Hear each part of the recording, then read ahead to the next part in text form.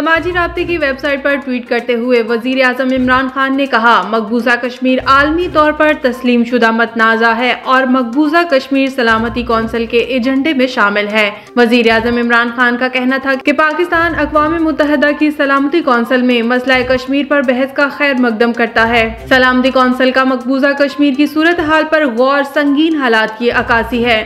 وزیر اعظم عمران خان نے کہا، مقبوضہ کشمیر کا تنازع سلامتی کونسل کی قراردادوں اور کشمیری عوام کی خواہشات کے مطابق حل ہونا چاہیے۔ کشمیر کو حق خود ارادیت ملنے تک اخلاقی سفارتی مدد جاری رکھیں گے۔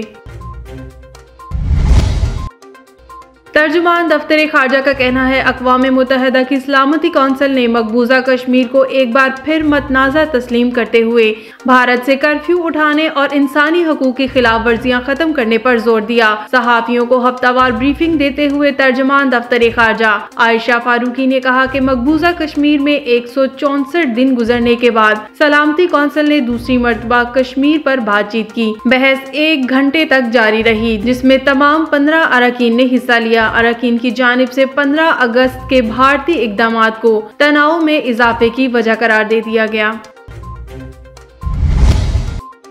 وزیر خارجہ شاہ محمود قریشی کا کہنا ہے، پاکستان بھارت سے دو طرفانہ مذاکرات کے لیے مخلص ہے، لیکن بھارت پیچھے ہٹ رہا ہے۔ وزیر خارجہ شاہ محمود قریشی نے امریکہ میں اقوام متحدہ کی جنرل اسمبلی کے صدر سلامتی کونسل کے صدر اور جنرل سیکرٹری سے الگ الگ ملاقاتیں کی۔ ان ملاقاتوں میں مقبوضہ کشمیر میں بھارت کی ریاستی دہشت گردی سے متعلق معاملات پر تبادلہ خیال کیا گیا۔ شاہ محمود قریشی نے اپنی ٹویٹ میں کہا ہے، گزشتہ پانچ ماہ کے دوران پاکستان کی درخواست پر چین کی حمایت کے باعث اقوام متحدہ کی سلامتی کونسل کے ارکان کو دوسری مرتبہ مقبوضہ کشمیر کی صورتحال پر بریفنگ دی گئی۔